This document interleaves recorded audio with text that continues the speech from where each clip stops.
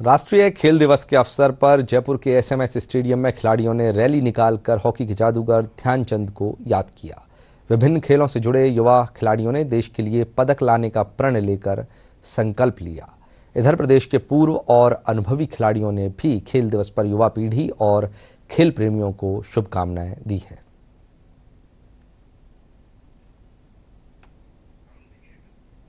राष्ट्रीय दिवस हम मना रहे हैं, ये हमारे उस खिलाड़ी के लिए मना रहे हैं, जो कि जिसने हिंदुस्तान का बहुत नाम रोशन किया। जब वो ज़िंदा थे तो हमें हॉकी के स्वर्ण पदक के लिए इधर उधर मुँह नहीं मारना पड़ता था। हम लोग परेशान नहीं होते थे। और उन लोगों का एक राष्ट्र धर्म भी था कि वो राष्ट्र के लिए ही समर्पित थे, अपने लिए नहीं। तो मेजर जो ध्यानचंद जी हैं, इनके नाम से आज उनका जन्मदिन हम मना रहे हैं, वो एक खेल दिवस के रूप में मना रहे हैं। ये एक बहुत अच्छी बात है।